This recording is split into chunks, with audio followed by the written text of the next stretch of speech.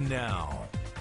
Good evening, I'm Lauren Culver. And I'm Chad Mira. Thanks for joining us tonight at 5. In our top story, Fargo police say a school bus driver has been arrested for drunk driving after getting a report of a bus swerving down the street with children running up and down the aisle around 3.30 yesterday afternoon. An officer caught up with a bus at Shanley High School and arrested 71-year-old Bruce Tweed for driving under the influence. Police say he had a blood alcohol content of 0.12.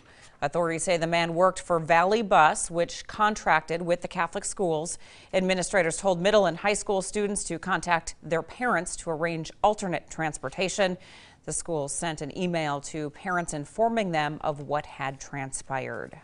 A North Dakota lawmaker's back at work just days after he crashed into a